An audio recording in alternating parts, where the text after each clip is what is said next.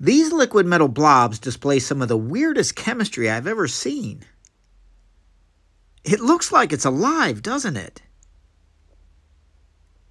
And then it just kind of pops back into a droplet. This remarkable experiment is really quite easy to set up. You start by adding a solution of copper 2 and hydrochloric acid to a petri dish.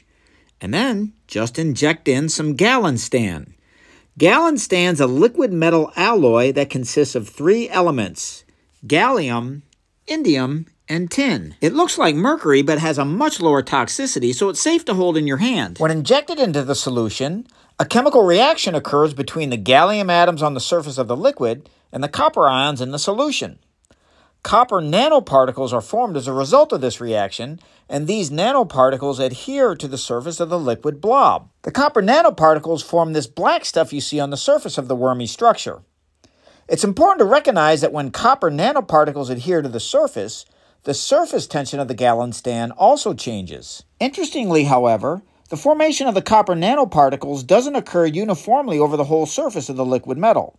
For example, you can still see some regions of the surface that are shiny. It turns out that the regions that have copper nanoparticles adsorbed have a lower surface tension than the original liquid metal surface. So it's these regions with lower surface tension that spread out more, and this causes the protrusions from the liquid blob. In addition to being formed on the surface, the copper nanoparticles can also be engulfed by the liquid metal, and this allows for repeated deformations. When all of the copper nanoparticles have finally been engulfed by the liquid, the surface becomes uniform again, and the spherical droplet reforms. But hey, I know you're going to also want to check this out.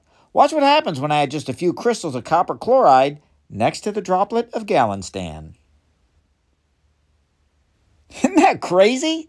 It looks like it's eating the crystals. In this case, the chemical reaction that forms the copper nanoparticles occurs more quickly on the side of the liquid metal that's closest to the crystals.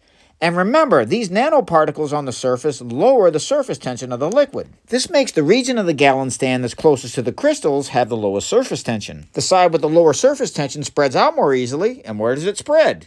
Into more copper crystals. This makes the process continue in a runaway effect in which the liquid metal continually moves toward the copper crystals. It's like a chemical Pac-Man. If you'd like to learn more about this fascinating chemical reaction, check out this article in the Journal of Chemical Education by Bingxing Wang and co-workers. Hey, what do you think about this chemical reaction? Does it kind of look like a chemical Spider-Man venom? A chemical Pac-Man? I look forward to hearing your thoughts in the comments. Thanks so much for watching.